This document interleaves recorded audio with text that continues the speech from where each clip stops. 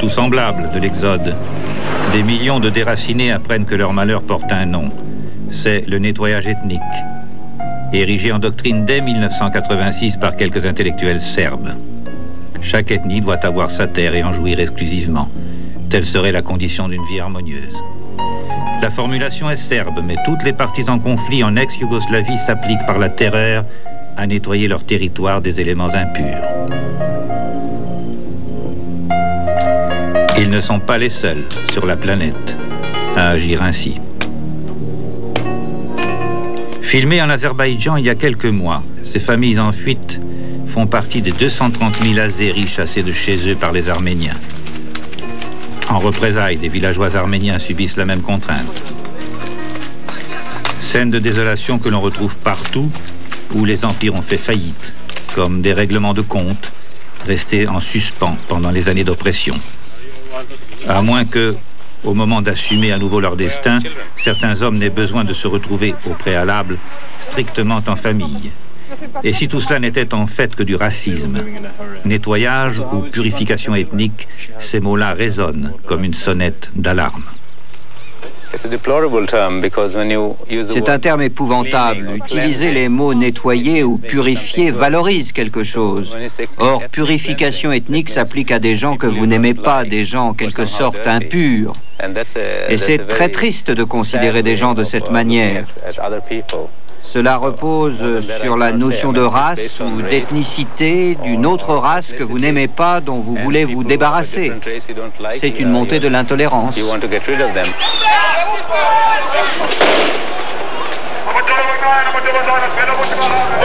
Plus que jamais, depuis 1989 et l'effondrement du communisme, l'Afrique est déchirée par les guerres civiles au Liberia, en Somalie, au Rwanda, au Burundi, en Afrique du Sud, avec la fin de l'apartheid, pour ne citer que ces pays-là. Dans tout le continent, le sentiment d'appartenance à une ethnie est prépondérant. L'unité nationale, le patriotisme, le respect des frontières ne pèsent pas lourd devant ce lien ancestral. Et les ethnies n'en finissent pas de nettoyer leur territoire au moindre signe de faiblesse des gouvernements. Il y a les affrontements sanglants, les déchaînements de violence extrême. Il y a aussi dans certains pays des méthodes moins brutales, mais quand même très efficaces.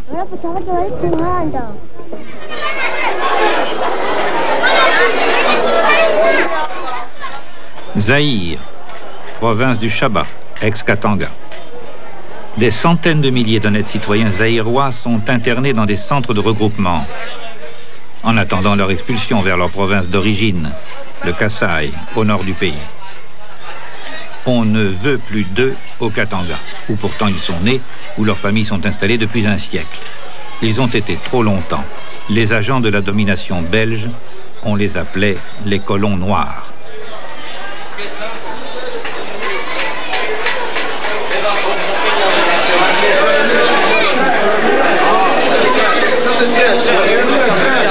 Les enfants s'écartent. Là, il y a un cadavre, la famille qui pleure.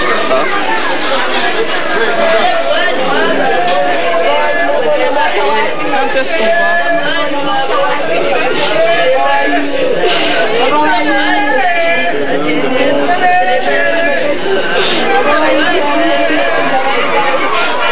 Les Katangais veulent maintenant rester entre eux et pour cela, ils ont constitué des milices.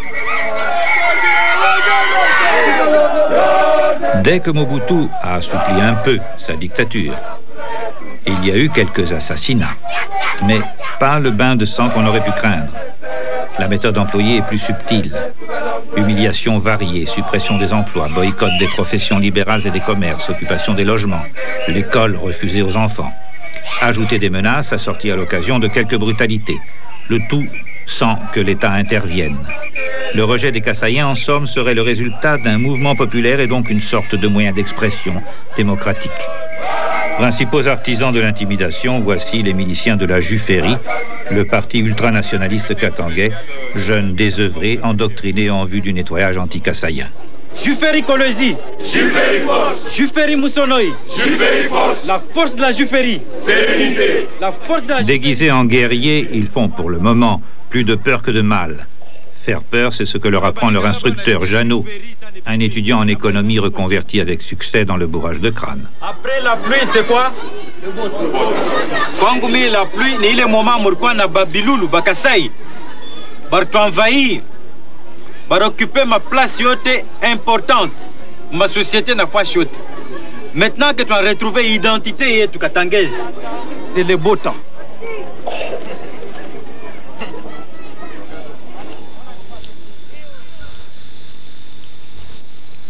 La haine n'est pas le seul moteur du rejet des Kassaïens.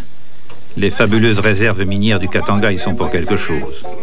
Cuivre, bauxite, cobalt, les colons belges pendant 70 ans, la dictature pendant 30 ans en ont assez tiré profit.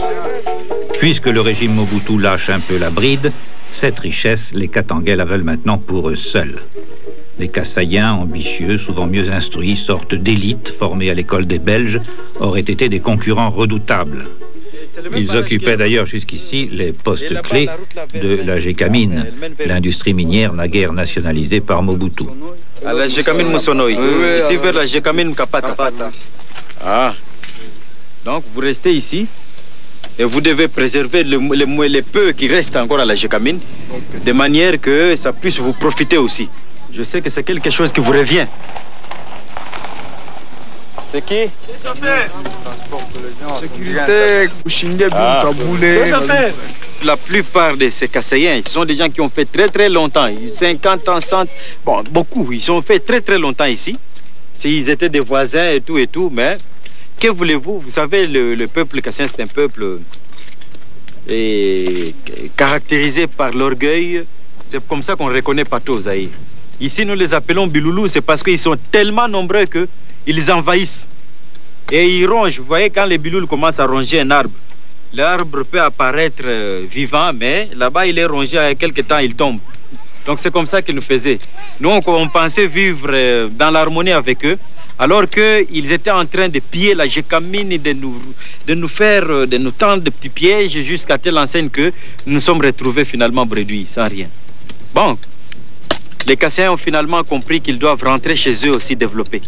Surtout que nous sommes pendant la période de la démocratisation. Tout le monde est libre d'aller là où il trouve bon. Hein. Liberté d'aller ailleurs, mais pas de rester. La démocratie, selon Jeannot, c'est d'abord vider le Katanga d'un cinquième de sa population.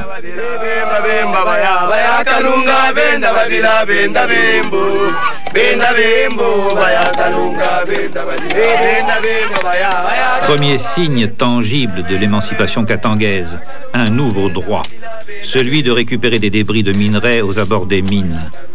Les femmes et les enfants viennent piocher dans les terrils. Le droit de ramasser les miettes, c'est déjà la preuve qu'on s'approche du festin.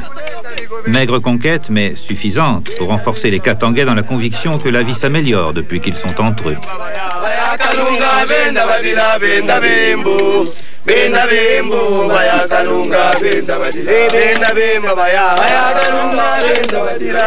Autre avantage immédiat du départ, les Kassaïens abandonnent leurs biens qui sont récupérés sans état d'âme par leurs voisins et amis d'hier.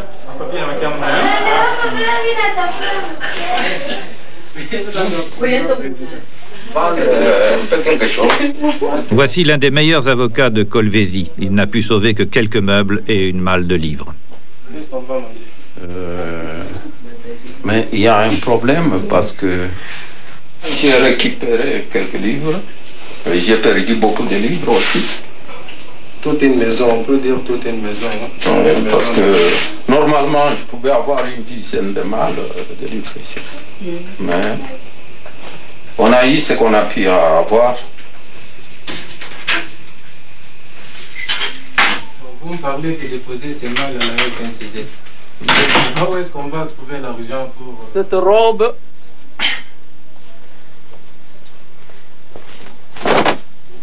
je l'ai portée pendant 27 ans pour défendre les droits, pour défendre les faibles, pour faire valoir devant la justice de mon pays qu'il faut qu'on soit juste. Mais aujourd'hui, le fruit de cet effort est que je suis victime de l'injustice.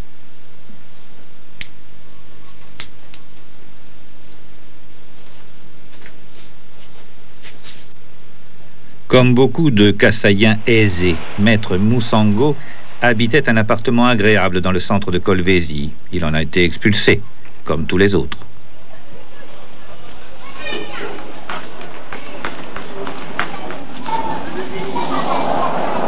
L'avocat a été remplacé par un pasteur.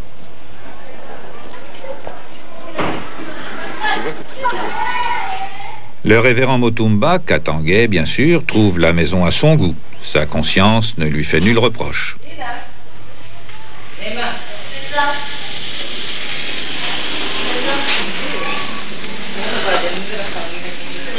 Ok. Alors, vous trouvez que c'est injuste ce qui leur arrive? Humainement, on dirait que ce n'est pas du tout bon, mais c'est... Peut-être c'est la volonté de Dieu. C'est parce que c'est déjà écrit. Hein? Ça se trouve même dans des Bibles. À la longue. Et vous verrez que les nations et les nations vont se soulever. De tribu à de tribu. Ce n'est pas du tout étonnant. Ce n'est pas du tout étonnant pour moi, qui suis chrétien. C'est ce qui arrive ici alors Peut-être. Nous, on avait encore une place. Pour le pasteur, tout est en ordre. Si les Kassaïens entassent leurs quelques meubles récupérés sur des wagons bons pour la casse, c'est parce que c'était écrit. Et voici les persécuteurs katangais disculpés par la Bible et Dieu lui-même. Il y a des couloirs qui sont aménagés hein, pour des passagers. Ouais, enfin. C'est dans ces conditions. Nous n'avons pratiquement rien contre eux. Ce sont eux qui ont, qui ont cultivé ces Nous les appelons toujours amis ou frères parce que, vous savez, euh, on reste ce qu'on était pour nous. Nous croyons que les amis ou les frères se sont trompés. Et nous leur donnons cette qualification. Mais malheureusement, nous ne pouvons pas, compte tenu de cette haine qui se manifeste chez eux, rester à côté d'eux. Je peux dire qu'il y a des gens qui pratiquent cette haine sans toutefois, inconsciemment, disons inconsciemment, parce qu'ils sont entraînés par les mouvements. Et ceux qui sont conscients, ceux qui ont planté cette haine, ceux qui ont semé la haine, ce sont les politiciens. Les politiciens qui, pour passer au pouvoir, doivent utiliser tous les moyens. Tous les moyens.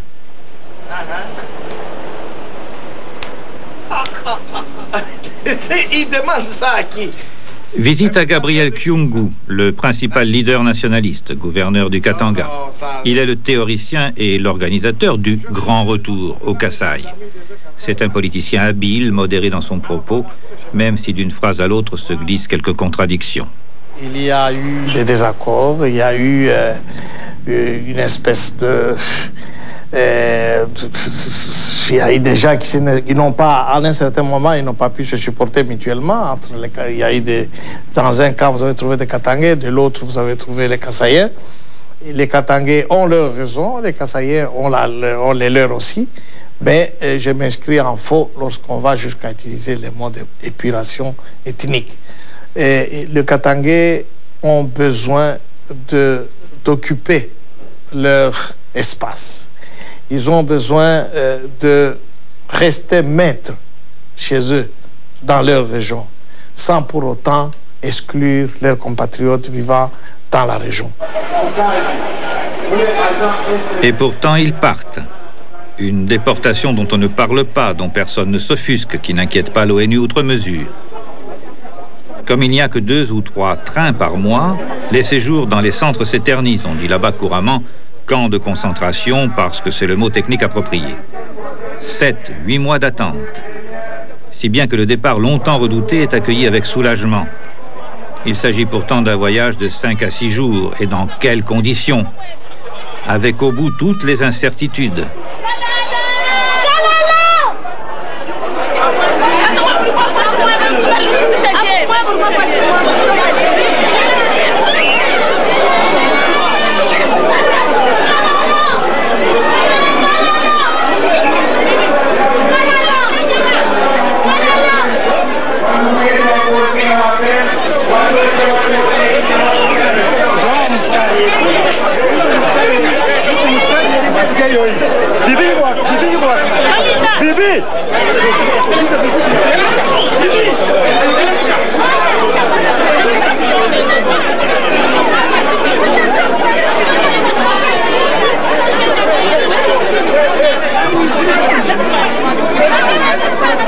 Voyez la façon que nous voyageons comme des bêtes, n'est-ce pas? Nous sommes des personnes, hein, mais voyez la façon que nous voyageons. 400 000 Kassaïens attendent encore un train. Une remarque au passage. C'est dans les libertés nouvellement acquises que les Katangais ont trouvé l'autorisation de régler des comptes internes, vieux de 100 ans.